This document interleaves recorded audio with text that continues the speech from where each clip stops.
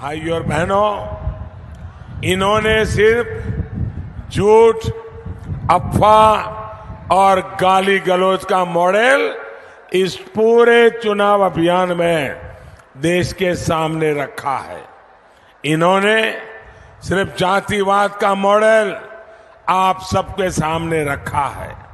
इन्होंने सिर्फ़ उनका मॉडल डर का मॉडल रखा है।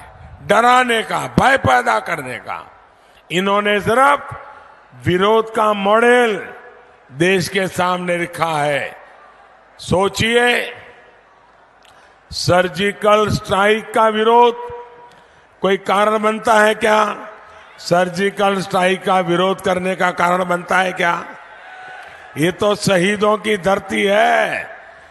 ये सर्जिकल स्ट्राइक करने वाले विरोधी शहीदों का विरोध कर रहे हैं कि नहीं कर रहे हैं?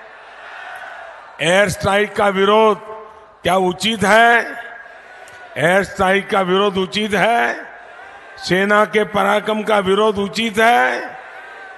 घुसपैठियों की पहचान का विरोध करना, नागरिकता कानून का विरोध करना, तीन तलाक कानून का विरोध करना, ओबीसी आयोग को संवैधानिक दर्जा देने का विरोध करना लोकपाल की नियुक्ति का विरोध करना, शत्रु संपत्ति कानून लागू करने का विरोध करना, और कदम कदम पर मोदी का विरोध करना।